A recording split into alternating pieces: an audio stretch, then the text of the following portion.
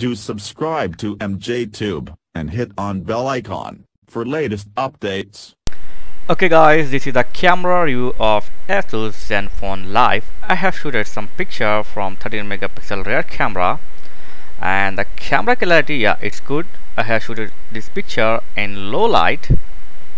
So in my point of view, yeah, camera is decent but uh, not great. You can't say this camera compared to other smartphone on this price like Xiaomi or Motorola. But in the price segment, camera is good.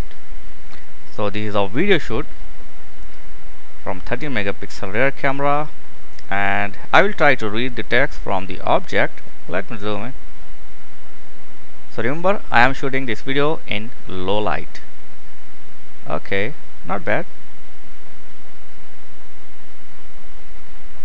nice. So decent camera yeah?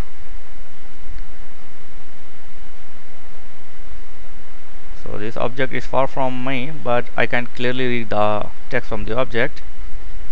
Okay. Yeah. Not bad. Good camera. In this price segment this is a good camera but you can't compare the camera with Xiaomi or Motorola. Okay.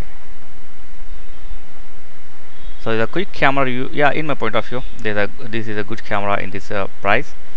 For latest price and full specification of this phone I have given a link in the video description. Thank for watching. Please like share and subscribe. Please click the link given in video description for latest price and full specification. Thank you for watching. Please like share and subscribe